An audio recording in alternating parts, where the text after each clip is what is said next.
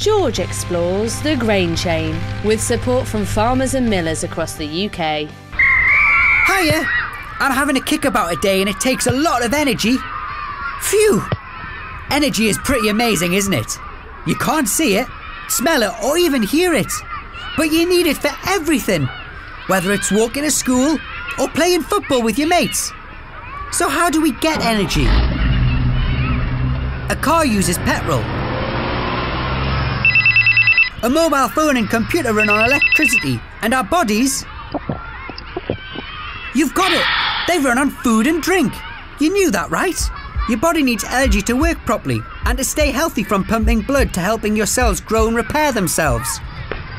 Your body uses more energy when active and less when resting. Ah, about time. I could do with a rest. So if you're active and exercising a lot, then you need more energy to keep you going. And if you sit on your bum watching telly all the time, well, it's pretty obvious you don't need as much fuel. It's a bit like a balance. The food you eat gives you energy. We all need energy. But if you use up less than you take in, then you're storing more than you need, and that can be bad for your health. Even if you're not in a sport, there are stacks of way to get active, like dancing. Everyone loves a good dance, even my dad.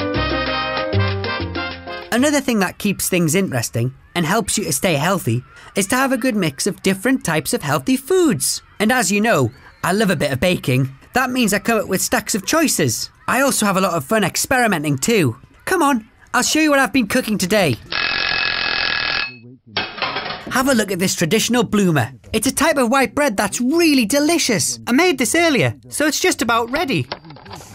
Perfect. It's a thick, long loaf, lightly cut across the top, so that the cut opens up into a bloom to give it a crisp crust. To make my bloomer extra tasty, I sprinkled it with delicious poppy seeds. This is going to make a fantastic doorstep sandwich with mm, some lean ham, lettuce, and some super juicy sliced tomatoes, I think.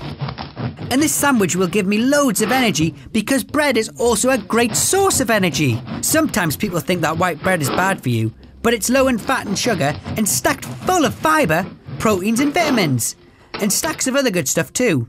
And make some great healthy snacks like this. And to make it super healthy, I'm using a low fat spread, and the ham is lean. That means it hasn't got the fatty bits on. If you want to know exactly what's gone into your bread, why not try making it yourself? Delicious. See you next time. George explores the grain chain with support from farmers and millers across the UK.